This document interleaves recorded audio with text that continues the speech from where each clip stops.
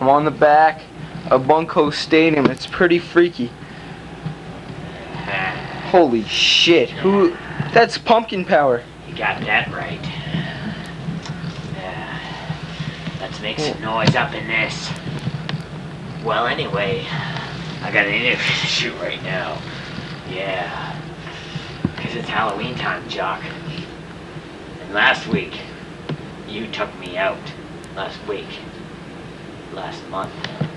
And but I'm still feeling it week after week after week. You snuck up behind me. And sure, I may have lost my last match. But come Halloween time, my time, I become more evil, more demonic than ever They're call uh, before.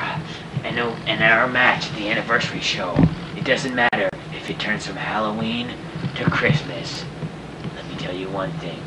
You won't be getting any treats. You won't be tricking me. And you won't be getting any early Christmas. Anyway, what the fuck? Jock! Now, Jock! Oh, good God, cocksucker. No. You'll, be my victim. Oh, Yeah, Lord! You'll be my Oh, victim. Lord! I am the Jock! I am the Jock! At Halloween, I carve pumpkins!